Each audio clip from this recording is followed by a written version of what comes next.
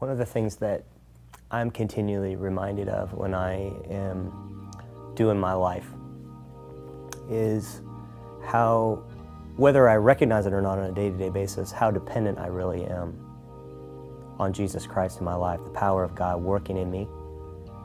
And sometimes there are those occasions in your life that stuff just happens and there's no getting around it and you recognize it.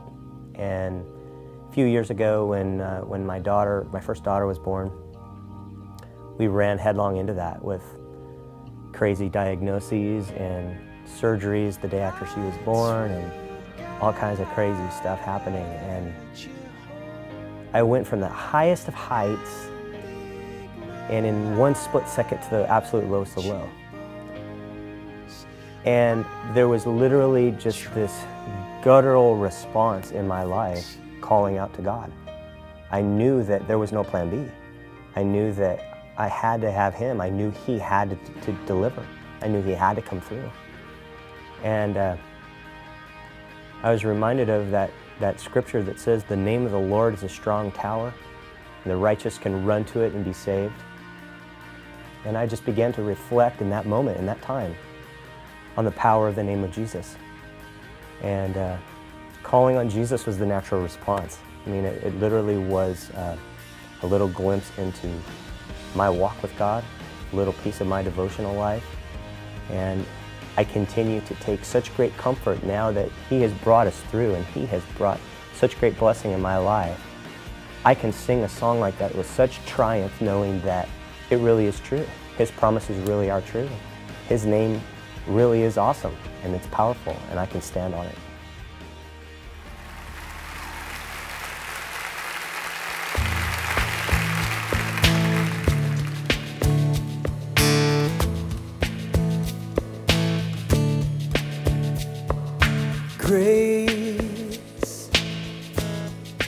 Amazing grace. How sweet that sound, the sound that saves. Love, abundant and free left heaven for me.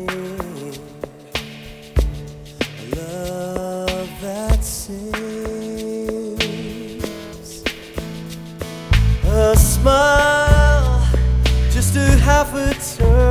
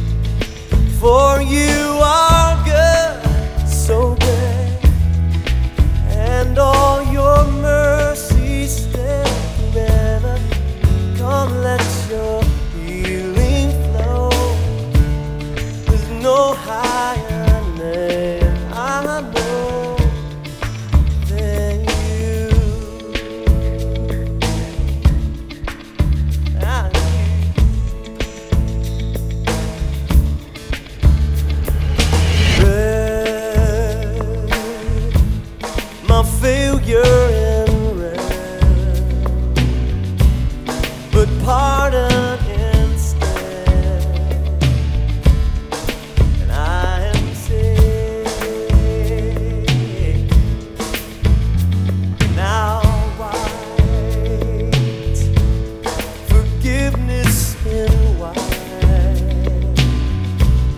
my shadow.